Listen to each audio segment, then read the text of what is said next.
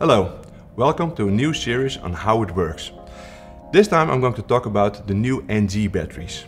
The difference between the existing smart lithium batteries and the new series of NG batteries is a couple of things and I want to go through them uh, one by one. I think one of the major differences is the way the batteries are communicating with each other and also with the BMS. With the smart lithium batteries, that signal is analog. That means there is an alarm state for high voltage, for low voltage or for temperature. But exactly what that value is, is not known by the BMS, only that there is an alarm state. This battery will communicate digitally. That means that the exact values per cell is going to be forwarded to the BMS. That means the BMS is aware of all the digital values of each cell. So it knows the exact value of voltage, the exact value of temperature, but also a current, because this battery does also a current measurement. As a result of the digital communication, the Bluetooth, which is there in a smart lithium battery, has now been moved to the BMS.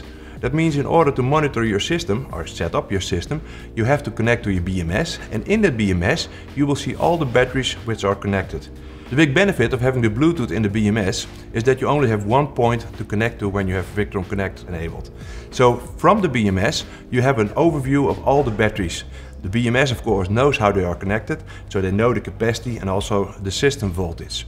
If there should be a firmware update, the firmware of the batteries is included in the firmware of the BMS. That means you update the BMS and the BMS will take care of the updating of all the batteries in your system. And this will happen in only a few seconds. The digital communication also enables us to make larger systems.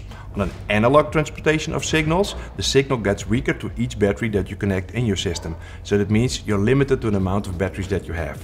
With a digital communication, that's not the case. So with the NG batteries, you're fine to connect up to 50 batteries on one single BMS, because the signal is always there and will also always communicate.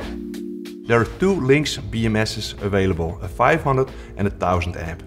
These are up to 50 batteries each. That means if you do the, the full calculation, you can go up to 384 kilowatt hours. Is that not enough? You can also have these BMSs paralleled. That means you can parallel battery banks for extra power or simply because you want to have more redundancy in your system. In front of me I have one open battery and why did I do that? Because I wanted to show you some extra uh, things which are inside which are different from a Lynx battery. As you can see, in this battery, this is a 24200, there are 16 cells and each time two cells are being paralleled.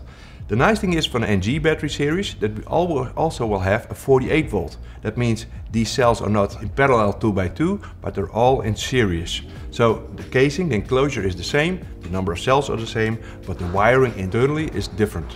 Inside the, the battery, uh, you can see that on each parallel cell there is a circuit board. And that circuit board is capable of digital communicating the measurements uh, to another circuit board.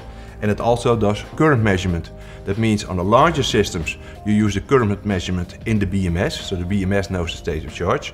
But also when you have a small system, the BMS can tell you the state of charge by itself. Enclosure-wise, the Smart Lithium battery and the NG series are exactly the same except for a feature which is found on the bottom of the enclosure. As you can see, there's a small flap on the bottom of the enclosure and that's used to secure the battery down on its mounting place. So that's a lot easier than strapping it down or having other uh, means to, to fix the battery to its position. As the communication between batteries and batteries and BMS is digital, they're not interchangeable with the smart lithium batteries. So you have either the analog version uh, with the smart lithium batteries or you have to go with the NG batteries. So in the coming future, you will see more and more models of the NG batteries and over time they will be replacing the smart lithium batteries. The NG batteries come in, in different voltages. First one is the 12 volt, which comes in 100 amp hour, 150 amp hour, 200 amp hour and 300 amp hour. And of course there's a 24 volt, which comes in 100 amp hour, 200 amp hour and 300 amp hour. But now there's also a new voltage, which is the 48 volt. So there will also be a 48 100 amp hour NG battery. If you need more information on this product, please leave a comment and we will get back to you.